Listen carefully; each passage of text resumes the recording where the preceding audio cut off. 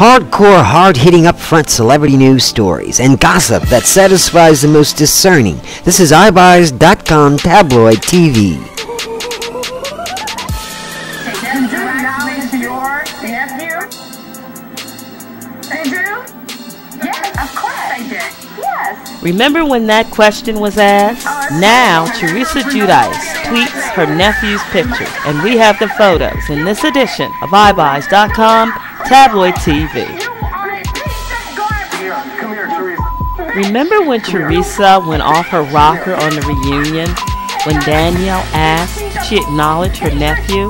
Well, Teresa has been tweeting away lately and nothing about her hubby going to jail. However, she did finally show a picture of her nephew on Twitter with her sister-in-law, Melissa Gorga. Reports have surfaced that Teresa hates her sister-in-law, but it looks like she's trying to smooth over the waters now that she'll be the new cast member on The Real Housewives of New Jersey and can do nothing about it.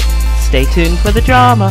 Stay up to date and on top of all the latest celebrity gossip and stories, from Will Bravo's bankrupt Teresa Giudice go to jail to why she hates her sister-in-law, and so much more check out iBuys.com's tabloid TV channel on YouTube and check out the real stories behind the stories that make up reality TV.